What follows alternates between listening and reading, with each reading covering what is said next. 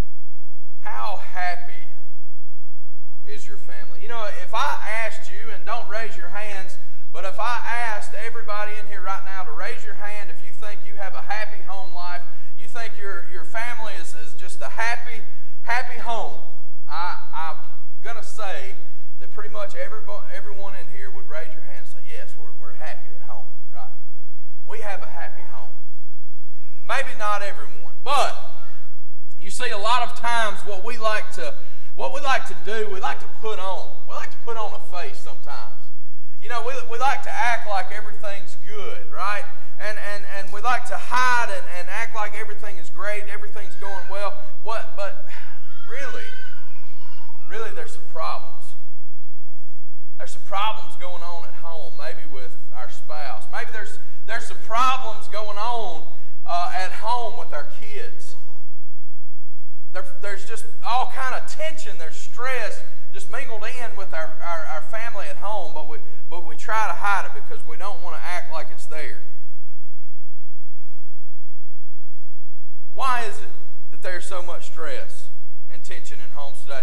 You know, we go back to the Proverbs here and, and, and we notice a bunch of the problems and tensions that we just read about. Verse 13 talks about sorrow, verse 15 talked about affliction, Verse 16, trouble. Verse 17, hatred. 18, strife.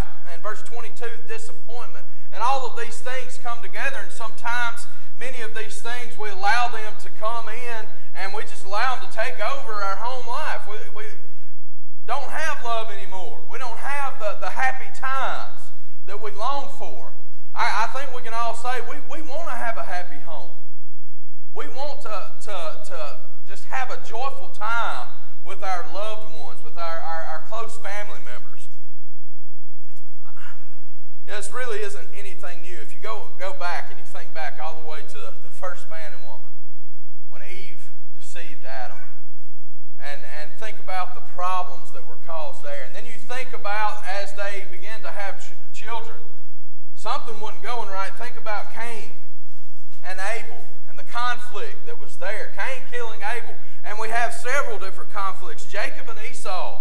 You have Joseph and his brothers, and all this strife and this hatred that goes on. And it goes all the way back to the beginning of time.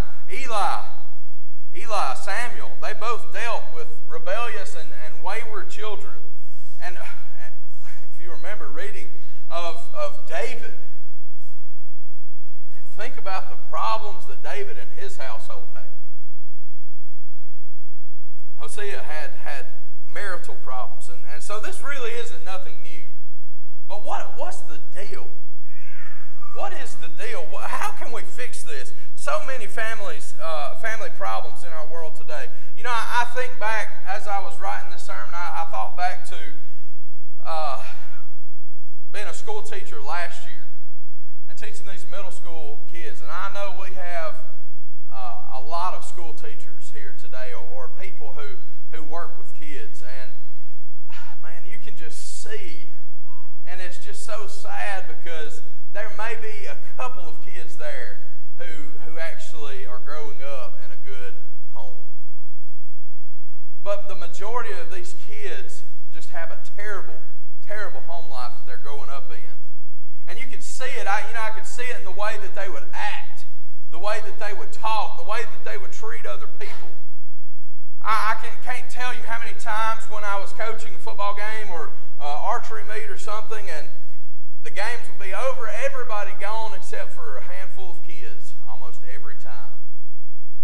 Same kids who, honestly, some, some of them didn't know where they were going to, they didn't know whose house they were staying at that night wherever their mom may decide to stay that night.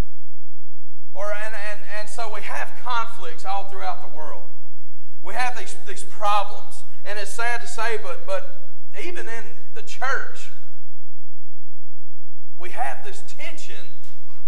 A lot of times when we leave Skyline Church of Christ church building and go home, maybe sometimes we even get in the vehicle on the ride home, there's a lot of tension and stress. It's just not happy sometimes.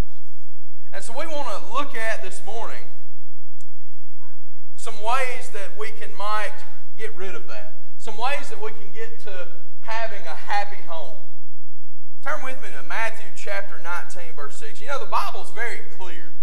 The Bible's clear what, what he wants families to be like. It's very clear. Matthew 19, 6 says, Wherefore they are no more twain, but they are one flesh. Guess what? What therefore God hath joined together, let no man put asunder. God wants family members to, to be united. It should not be separated. We, we should be one. And how do we get to that point when we're arguing, when we're fighting, when we're yelling, when we're uh, causing problems so, so, so often? How do we do that? How do we get to this point? You know, supposed to take care of our own. 1 Timothy 5 8 says, If anyone does not provide for his relatives, and especially for members of his household, he has denied the faith and is worse than an unbeliever. We've got to take care. Take care of our, our own. But so many times we don't. Ephesians chapter 5. Look with me in Ephesians chapter 5.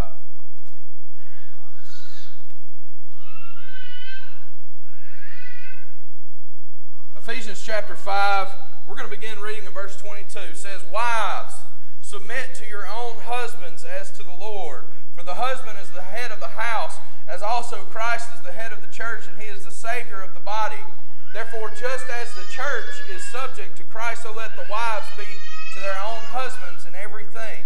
Husbands, love your wives, just as Christ also loved the church and gave himself for her that he might sanctify and cleanse her with the washing of water by the word, that he might present her to himself a glorious church, not having spot or wrinkle or any such thing, but that she should be holy and without blemish. So husbands ought to love their own wives as their own bodies. He who loves his wife loves himself. For no one ever hated his own flesh, but nourishes and cherishes it, just as the Lord do, uh, does the church for we are members of his body. So this whole passage here, we're going to keep going, it, it, it talks about what, what a happy home life should be like. If, if you want a happy home, get these things right. Love one another. For this reason, verse 31, a man shall leave his father and mother and be joined to his wife, and the two shall become one flesh. This is a great mystery, but I speak concerning Christ and the church. Nevertheless, let each one of you in particular so love his own wife as himself, and let the wife see that she respects her husband. So, why do we have problems? Are we following this? Going down Ephesians 6 there. What about your kids? Pay attention here. Children, I bet you can quote it. Children, obey your parents in the Lord, for this is right. Honor your father and mother, which is the first commandment with promise, that it may be well with you, and you may live long on the earth. And you fathers, do not provoke your children to wrath, but bring them up in training and admon, admonition of the Lord. So why is it? Why is it that our homes just aren't happy? Why is it we have so much stress and so much tension and so many problems? And how can how can we how can we get to this? How can we have a happy home? That's what we want to look at uh, this morning. Point number one, and I know this may seem like, oh, really? Happy homes have happy people.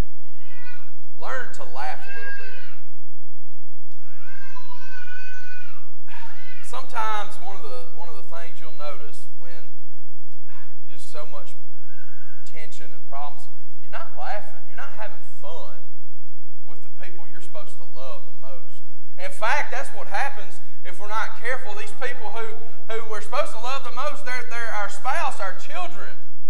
And, and we just flip a switch once we leave everybody else, and, and there comes all this, this tension, this, uh, this hatred almost. Learn to laugh and have fun. Proverbs chapter 15. As we were reading a, a moment ago, Proverbs 15, verse 13. A married heart makes a cheerful countenance. If you want to be happy, have a merry heart. Smile. Have fun. Laugh a little bit. Don't be so tense and, and, and pruned up all the time. Have fun with each other. You know, we're, we're children of God. We are Christians. We can say, I'm going to have a home in heaven when this life is over. People, we have every, every reason in the world to be happy because we have God on our side. Psalms chapter 1, 126, excuse me. Psalms chapter uh, 126. Psalms 126, verses 2 and 3 says, Then our mouth was filled with laughter, and our tongue with shouts of joy. Then they said among the nations, The Lord has done great things for them. Their mouths, they were filled with laughter and, and full of joy because they could see what God has done for them. Verse 3 The Lord hath done great things for us. Guess what? We are glad. What's the problem? And we go home and we're just mad for some reason. Maybe things ain't going the way we want them to. Well, people, we have we have a reason to be happy because Jesus Christ died for us on the cross, and we have a hope for a home in heaven one day. You've got a reason to be happy. Laugh a little bit and have fun together. Ecclesiastes chapter 3. Ecclesiastes chapter 3. Verse 1 says, For everything there is a season and a time for every matter under heaven. Guess what verse 4 says? There's a time to weep, but there's a time to laugh. There's a time to mourn, there's a time to dance. There's a time to have fun. And if you're not having fun with your children, you're not making, and so that, that's what happens. We get so busy sometimes. You know, my kids go do this and that, and I've got to work all day, and we just come home and they go to their rooms and go and, and watch TV. We don't even spend any time together. That's a problem. That's a problem. These are our children. These are our, our husbands, our wives. Spend time with your family. Laugh and, and smile and, and have a good time together. Proverbs 17, verse 22, as Becker read for us. A joyful heart is good medicine. You want to fix something? Try to be happy. Try to bring joy in. Try to think on the positive things of life. Try to try to think of, of the future, of, of heaven, having a home in heaven. Joyful heart is good medicine, but a crushed spirit dries up the bones. A lot of things can be a lot of things can be fixed if we'll just take take a little time to smile. And and, and take a little time to, to laugh together and have fun together. That's point number one. Happy homes have happy people. So let's laugh a little time. Make time for your, your loved ones, okay? Make time to, to get together and and just talk a little bit and, and cut up and, and have a good time. Number two, happy homes are content. So one of the problems we have, one of the problems we're not happy, and and is because we haven't reached this know, the world tells you today, man, you've got to have, have, have, right? You, you need to you need to get the nicest house. You need to have the, the nicest car, the nicest truck. All right? You need to have all of these things. I want you to know, I talked to a man the other day. He had got this new bass boat. Look at some of these guys bass fish a lot, I know. But they had bought this new bass boat, brand new, okay? $72,000 for a boat. $72,000. And so, so what do we have, right? We have people that know you're going to pay for these things. And, and so we won't, won't, won't. And so we go out and work all the time. And, and we, we throw to the side everything that matters. We, we lose what our focus should be on. We change our priorities so that we can get these things right? And that's what happens. And that, that's not a happy home when our priorities are based on getting this stuff. Matthew chapter 6, verses 19 through 21 says this Do not lay up for yourselves treasures on earth. Why? Because moth and rust is going to destroy it. Thieves are going to break in and steal. Lay up for yourselves treasures in heaven where neither moth nor rust destroys, where thieves do not break in and steal. For where your treasure is, there your heart will be also. And there's the statement that brings it all together. You want a happy home? Where's your heart? Where's your mind? Where's your focus? Because if everybody's in this family, in this home, if your focus is not set on getting to heaven with that one that you, you love and you live with, we might have a problem and that could be the cause of it. Proverbs 15, 16 to 17. As we read, better is a little with the fear of the Lord than great treasure with trouble. Better is dinner of herbs where love is than a fatted calf with hatred. Be content. Learn to be content. Learn to enjoy what you have, what God has blessed you with. 1 Timothy chapter 6 1 Timothy chapter 6, verses 6 through 11. But godliness with contentment is great gain. For we brought nothing into this world, and guess what?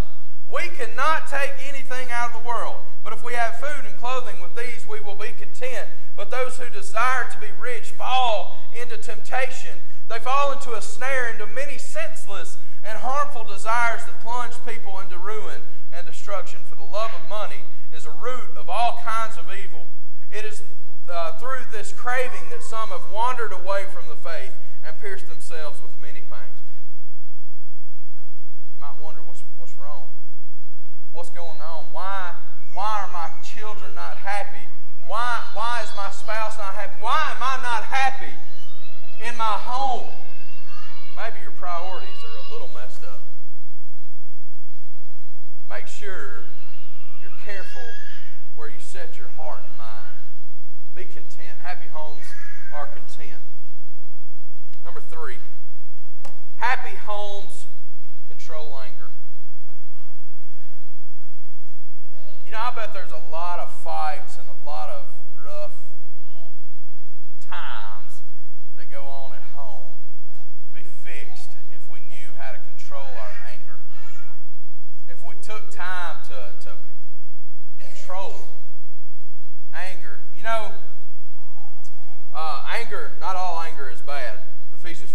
26 says, Be angry and do not sin. You can be angry and not sin. Do not let the sun go down on your anger. Give no opportunity to the devil.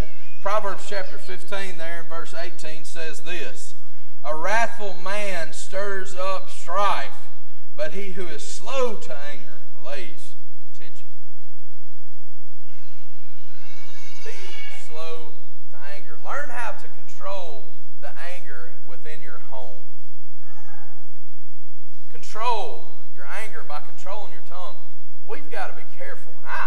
talking to myself here too. You can ask Paige, I'm sure she'll tell you.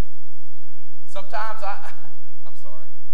Sometimes, and I, I'm, I'm confessing it now, I, I understand. I may let my tongue speak before I think.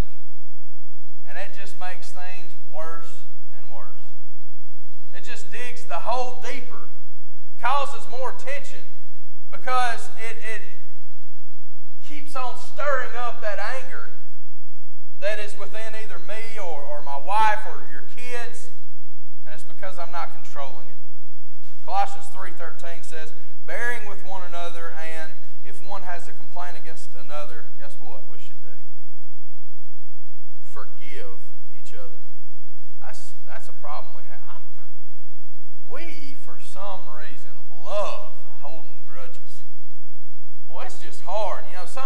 Somebody, boy, you know, maybe your maybe kids, maybe your parents have has done something and made you mad. You just want to be mad at them for a while. Or maybe husbands, your your wife has done something against you. And and so you're you're mad, you're angry, and you just hold that anger in and you just keep on holding it. Forgive one another as the Lord has forgiven you, also you must forgive. A lot of problems would be done away with if we could learn to forgive quickly, right? Forgive one another. We're not perfect. We're not perfect. But if we're helping each other and we're striving to, to be better together, if I mess up, forgive me. Forgive me and help me help me get better. Happy homes control. Number four, happy homes use wisdom.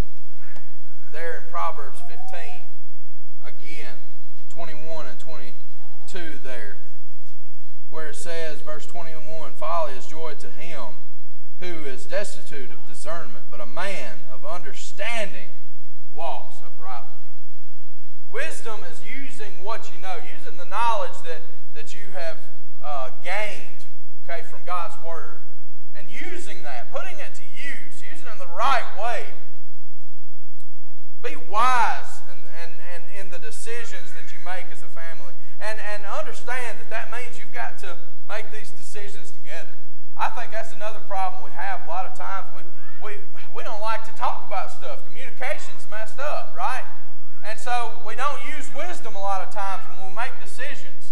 And I, I, sometimes I forget, right? But work on work on communicating and, and, and making decisions together, coming together to, to, to uh, a, a unity, right, within the home. Talk things out with one another. Number five, happy homes are kind. Colossians chapter 3, verse 12. Put on then as God's chosen ones, holy and beloved, compassionate hearts, kindness, humility, meekness, and patience. Put these things on. Help each other out. Do some, do some simple acts of kindness. Ephesians chapter 4 says this. Ephesians chapter 4, 31 and 32. Let all bitterness and wrath and anger and clamor and slander be put away from you, along with malice. But instead, guess what? Be kind to one another, tender-hearted, forgiving one another as God in Christ forgave you. You know, guys, help out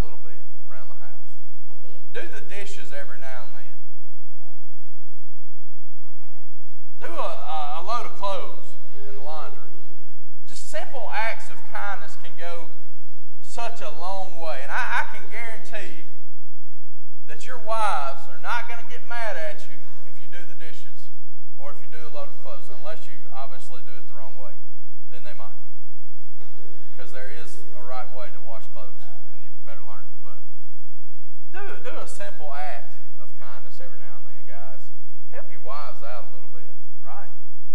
Same with the ladies. Help your help your husbands out.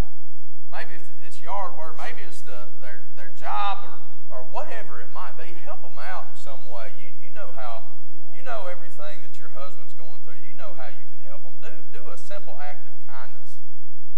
Kids, kids, help out at home. Help your parents out. I promise you, it, it, it will relieve and some of that tension that, that just kind of hangs on there. Help out. And then our last point that I want to look at. So, and, and I will say that this next point is, is the most important one. So if I need to scream really loud to wake everybody up right now, I can, but I may need to do that. Last point I want us to look at happy homes have God in them. Does your home have God in it? Absolutely. Right? You know, I mean, we're, we're here now, right? God's in our home, is He not? Do you take God to your house with your family? How many times, think about it, this past week, I want you to answer to yourself truthfully. How many times this past week did you stop with your family? You want a happy home? How many times this past week did you stop with your family and pray to God together? How many times this past week did you stop and you, you took time to sit down with your family and study God's Word. You want to know the root of, of family problems? They don't have God in them a lot of times. And what I mean by that is, you know, God, I want you to help. Why do we not? What is going on? Why, why is there so much tension? Why is there so many problems going on in our home? And, and we wonder, God, what's going wrong? But we don't even have God in our home. We don't bring Him home with us. We don't allow Him to be a part of our home because we don't spend time together praying to Him. We don't spend time together studying His Word, and we should be ashamed. We should be ashamed. We wonder why we don't have a happy home. And it's because so many times we don't put forth the effort to study with our kids, with our spouse, by our, yet alone by ourselves. What's going on? I don't understand.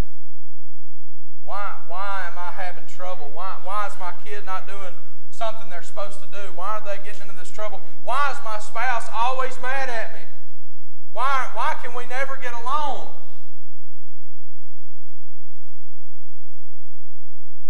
Do you have God in your home with you? You know, every problem, every problem that our family has, every problem that we may have in the world can be solved right here. It can be solved right here. Yet, we go home, we put this thing on the shelf, and we don't pick it up again until maybe Wednesday night or next Sunday. Our problems can be solved, people, right here.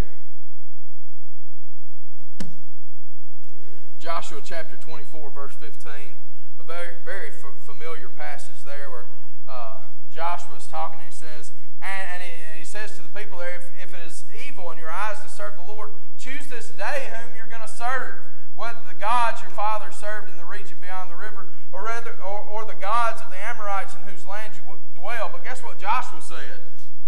He said, As for me and my house, we're going to serve the Lord. Are you, are you serving the Lord in your household?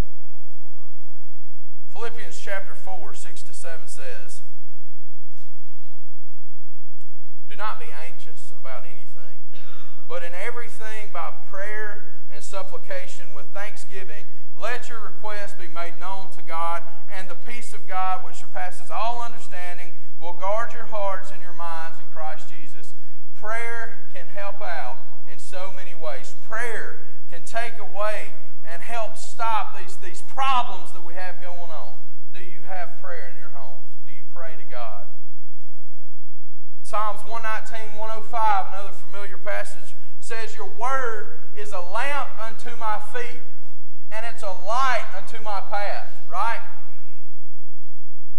We're just wandering around in the dark in our house, and our homes. We're just wandering around in the dark if we're not using God's word to guide us. How do we expect to get anywhere if we're not using the light, right? So, just some things to think about this morning. Things that we might want to implement within our home life. Do you want to have a? How happy, how happy is your home truly? If your home has a lot of tension and